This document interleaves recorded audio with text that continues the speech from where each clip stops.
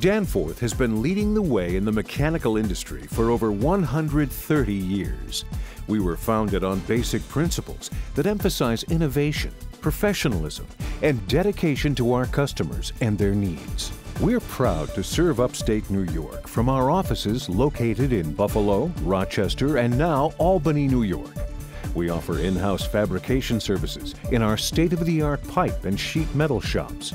These facilities serve to increase efficiency while cutting costs, which are then passed along to our customers. Our team consists of industry experts specializing in energy performance contracting, design and build construction, mechanical system maintenance and repair services, and environmental services. We proudly serve such markets as K-12 and higher education, healthcare, manufacturing, food processing, municipalities, and commercial offices. We live by the credo, high performance, no compromise, and apply it to everything we do.